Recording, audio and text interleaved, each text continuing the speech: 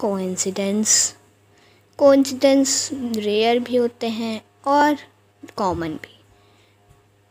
तो वेल इस वीडियो में मैं आपको ऐसे ही कुछ बहुत ही ज़्यादा रियल को इंसिडेंट्स दिखाने वाला हूँ जो आपने पहले कभी नहीं देखे होंगे। So without any further delay let's explore most rare को incidents that really occurs number one nineteen thirty में एक मदर जिसका एक बच्चा था और वो बच्चा एक ऊँची बिल्डिंग के ऊँचे वाले फ्लोर से नीचे गिरने लगता है। पर लकीली जोसफ फिगलोर नाम का एक आदमी उस बच्चे को कैच कर लेता है और दोनों में से किसी को भी कोई चोट नहीं होती है।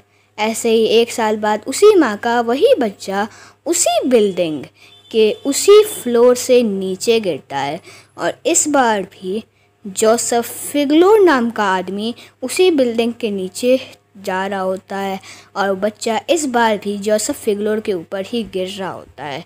पर जोसफ फिगलोर उस बच्चे को इस बार भी बिल्कुल परफेक्टली कैच कर लेते हैं और इस बार भी दोनों में से किसी को भी कोई चोट नहीं लगती है।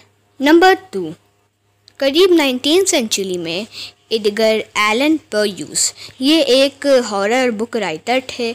इन्होंने the native of Arthur Gordon P Y M book लिखी थी। ये कहानी है चार सर्वाइवल की, जो कि एक सिप में बिन खाने के सर्वाइव करते हैं और ये लोग, इनके पास खाना ख़त्म हो चुका था, इसलिए ये लोग अपने कैबिन बॉय रिचर्ड पार्कर को ही मार के खा जाते हैं। ऐसे ही 1884 में एक और बोट में चार सर्वाइवल सर्वाइव करते हैं बिना खाने के। और क्योंकि इनके पास भी खाना नहीं था, इसलिए ये लोग भी अपने कैबिन बॉय को मार के खा जाते हैं। और इनके कैबिन बॉय का नाम था रिचर्ड पार्कर। नंबर थ्री एक बार दो ट्विंस बॉयज़ का जन्म होता है। ये दोनों बिल्कुल ट्विंस थे। इन लोगों को इनके बर्थ के समय सेपरेट कर दिया गया था और दो अलग अलग फैमिली ने इन दोनों को अडॉप्ट कर लिया था। एंड कोइंसिडेंसली इन दोनों का नाम इनकी फैमिलियाँ जेम्स ही रखती हैं। ऐसे ये लोग बड़े हो जाते हैं, पर लोग जानते नहीं थे कि इनका एक ट्विंस ब्रदर भी है। एंड कोइंसिडेंसली जब ये दोनों बड़े हो जाते हैं तो ये दोनों लॉ इन्फोर्मेंट्स ट्रेनिंग कर रहे होते हैं और इन दोनों के ही अंदर मैकेनिकल ड्राइंग और कारपेंटरिंग की स्किल्स होती हैं। एंड कोइंसिडेंसली ये दोनों ही लिंडा नाम की ही औरत से शादी करते हैं। एंड कोइंसिडेंसली इन दोनों के ही दो बच्चे होते हैं, जिनका ये दोनों ही नाम James Alan and James Alam रखते हैं। और फिर दोनों का लिंडा के साथ डिवोर्स हो जाता है।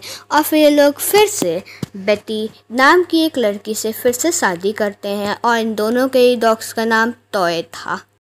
और करीब 40 साल की उम्र में ये दोनों एक दूसरे से मिलते हैं और अपनी सेम लाइफ की बातें एक दूसरे के साथ शेयर करते हैं। आपको इन सारे कोइंसिडेंस में सबसे अच्छा कोइंसिडेंस कौन सा लगा? मुझे कमेंट करके ज़रूर बताइएगा। और अगर आपको ये वीडियो पसंद आई हो तो इस वीडियो को एक लाइक तो ज़रूर कीजिएगा।